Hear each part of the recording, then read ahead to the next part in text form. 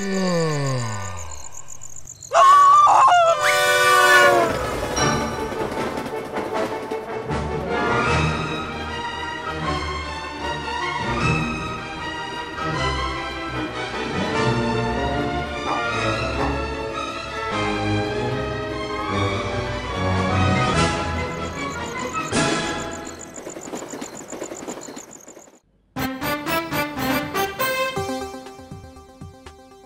Kochanie, kochanie, szybko!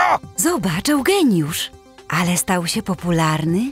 Posłuchaj, to ważne. Czy może nam pan powiedzieć, jak będzie wyglądało wprowadzenie euro w naszym kraju? Euro w naszym kraju będzie wprowadzane w trzech etapach. Pierwszym z nich jest etap przygotowawczy. Należy najpierw wprowadzić odpowiednie ustawy. Trzeba zmienić prawo.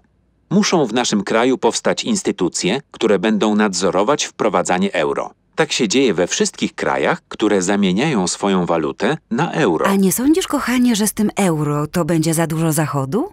Nie, nie za dużo.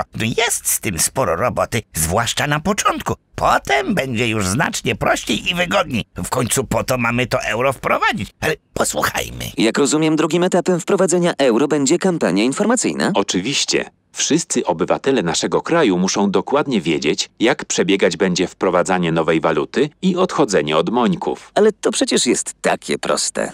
No, nie jestem pewien. Trzeba obywatelom bardzo dokładnie wyjaśnić wszystkie praktyczne aspekty wymiany mońków na euro. Gdzie to mogą zrobić i jak? Rozumie pan? Oczywiście, ale to wszystko?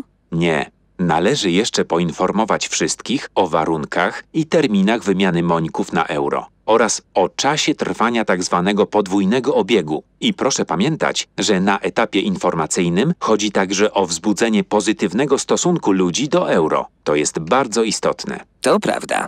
Podwójnego obiegu? Nic mi o tym nie mówiłeś. Brzmi podejrzanie. Kochanie, no chodzi przecież o to, że przez jakiś czas będzie można płacić i euro, i mońkami. Inaczej wybuchłby chaos. Etap podwójnego obiegu jest trzecim i ostatnim etapem wprowadzania euro. Rozumiesz? Tak, tak, tak, tak. Ale powiedz mi, jak ten etap, kiedy będziemy mogli płacić mońkami i euro, będzie długo trwał? Bo to może być męczące. Posłuchaj. Etap podwójnego obiegu będzie trwał nie dłużej niż dwa miesiące.